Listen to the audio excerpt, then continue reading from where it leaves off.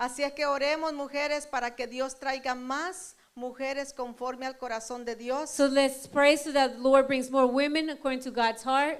El doctor dijo, te voy a mandar a un hospital de mental. You know, The doctor said, I'm going to send you to a mental hospital.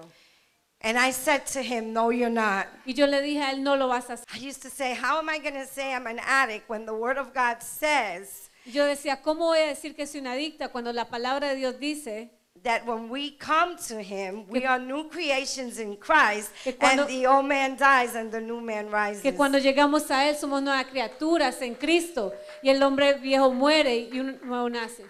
And Mujeres realizadas en el Señor. We want the opportunity for you women to Y be tú no te puedes ir sin irte a lo que querías recibir en el Señor. Juntas en Fraternidad. Este, la palabra de hoy fue bien poderosa. bendiciones juntas en fraternidad.